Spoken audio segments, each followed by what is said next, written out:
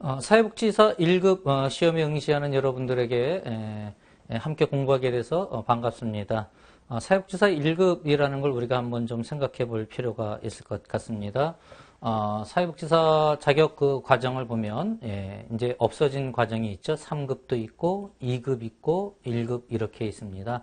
아, 상급 자격식을 가지신 분이 아직도 존재해요. 그러나 이제 양성 과정이 법률 개정으로 인해서 그 과정 자체가 없어짐을 통해서 이제 앞으로 1년, 어, 2년 지나면은 3급 가지신 분들이 전부 다 2급으로 전환하면 이제 2급밖에 남지 않고 2급이냐 1급이냐 이제 이렇게 되어질 것입니다.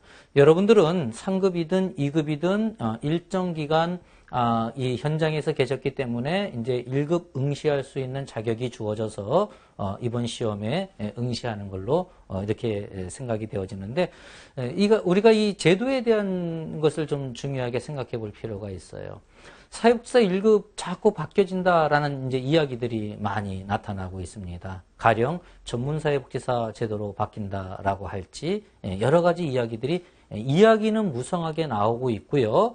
또 제 주변에서도 여러 가지 많은 그러한 논의들이 이, 루어지고 있는 것들, 이러한 것들을 볼 수 있는데 여러분에게 중요하게 이야기할 수 있는 건 변한 건 아직 없다라는 것을 말씀드리고 싶어요. 다시 말해서 사회복지사 1급이라는 이 과정은 어, 사회복지사 자격증으로는 국가가 인정하는 자격증으로는 예, 현, 현재 최고의 어떤 자격이다라는 것, 이 사실이 변하지 않는다라는 것 여러분에게 강조해서 말씀드리고 싶습니다.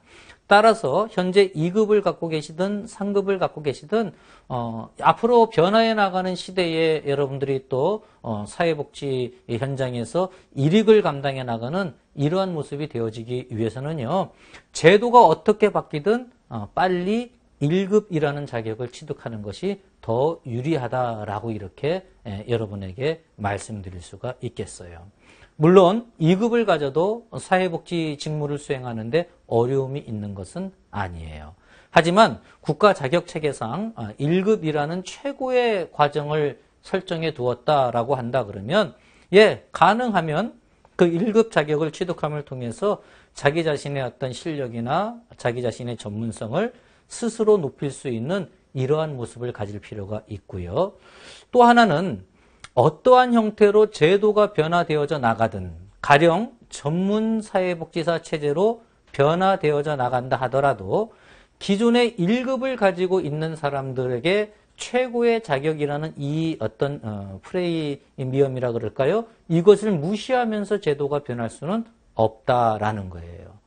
다시 말해서 1급 가진 사람에게는 어떤 기회를 주겠죠. 전문 자격으로 가는 데 있어서 어떤 일정한 유예 기간이나 이런 것들을 줄 수가 있어요. 따라서 제도가 바뀌든 바뀌지 않든 여러분들이 먼저 어, 지금 현재 사회복지사 1급에 도전해 본다라는 것 여러분 자신의 발전을 위해서도 좋고 또 변화해 나가는 시대 속에서 사회복지사로서의 어떤 전문성을 높여 나가는데 도움이 된다. 라고 이렇게 우리가 아, 생각해 볼 수가 있겠습니다.